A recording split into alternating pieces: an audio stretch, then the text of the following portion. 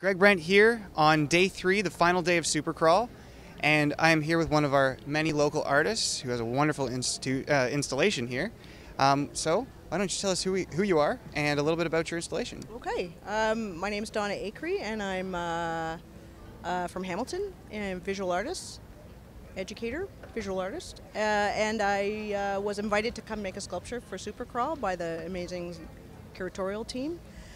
And so um, I decided to make, uh, instead of a sculpture that just sat, I thought I'd make something that um, was activated by the, the audience. So it really it sits here and it looks pretty, but it really becomes fully uh, realized when the audience takes the clouds for a walk. So they're mobile, they're on wheels, uh, and fairly easy to maneuver. You have to kind of learn them a little bit, like learning anything, and you take them for a walk along the little promenade between Cannon and Barton. So in a way, you're kind of controlling the weather.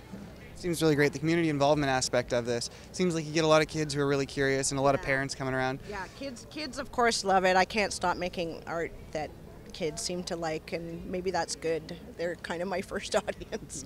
But um, yeah, I, I, I would if I do it again, I'd like to, I'll engineer them a little bit better so that they're a little bit easier for kids, but families are taking them and um, having a great time with them. Yeah, that's really, really neat. Well, that's great. Thanks for talking to us. No problem. Thank you. And if you're looking to see some of this stuff, uh, come on down to Supercrawl. We're at the corner of James and Mulberry right now.